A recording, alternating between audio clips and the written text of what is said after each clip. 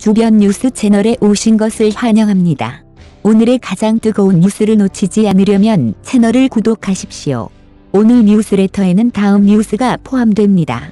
박민영, 수상환 재력가 열애설 이틀 만에 이별했다. 발표 금전 제공도 원호, 종합.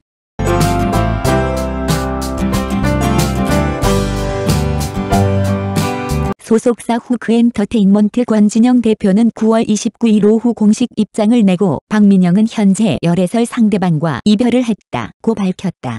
이어 박민영이 열애설 상대방으로부터 많은 금전적 제공을 받았다는 것은 결코 사실이 아니다고도 알렸다. 앞서 지난 28일 디스패치는 박민영이 재력가 강 모 씨와 열애 중이라고 보도했다. 그와 동시에 강 씨의 수상한 재산 축적 과정도 전했다. 보도에 따르면 강 씨는 국내 위 가상화폐 거래소 빗썸에 숨겨진 실소유주라는 의혹을 받고 있으며 과거 휴대폰 단말기 판매 사업을 하던 시기 사기 및 사문서 위조로 징역 2년 6개월의 집행유예 3년을 선고받은 바 있다. 열애설이 불거진 당시 소속사 측은 박민영이 드라마 월수금화 목토 촬영에 임하고 있어 사실 관계 확인이 늦어지고 있다며 침묵했다.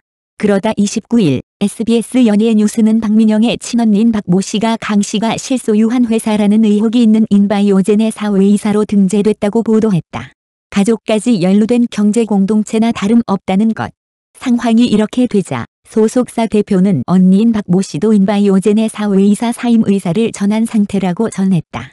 또한 박민영은 현재 방영되고 있는 드라마 월수금화 목토 촬영을 잘 마치는 것이 지금의 최우선 과제이기에 방송에 지장이 생기지 않도록 최선을 다할 것이라며 아울러 배우 본인은 물론 가족 및 자신과 관계한 모든 이들의 행동에 더욱 신중을 기하고 앞으로도 성실히 배우로서 공인으로서 책임감을 가지고 임할 것이라고 강조했다. 한편 박민영의 열애설의 이정재와 정우성도 해명으로 진땀을 뺐다. 강 씨가 실소유주라고 알려진 비덴트와 버킷 스튜디오에 투자했다는 사실이 알려지면서다. 개인뿐만 아니라 아티스트 컴퍼니 이름으로도 투자했다는 사실이 전해졌다. 이에 대해 아티스트 컴퍼니는 단순 투자이며 2018년 투자금 전액을 회수함으로써 더 이상 위 회사와는 관계없다라고 해명한 뒤 본사나 소속 배우들은 언론을 통해 강 씨가 비덴트나 버킷 스튜디오 실질 소유자라는 사실을 알게 됐을 뿐 단 한 번의 연락이나 접촉도 없었고 일면식도 없다고 강조했다. 영상을 시청해 주셔서 감사합니다. 뉴스레터가 유용하다고 생각되시면 좋아요, 댓글, 구독을 잊지 마세요. 최신 업데이트를 받아보실 수 있습니다. 안녕하세요. 다음에 뵙겠습니다.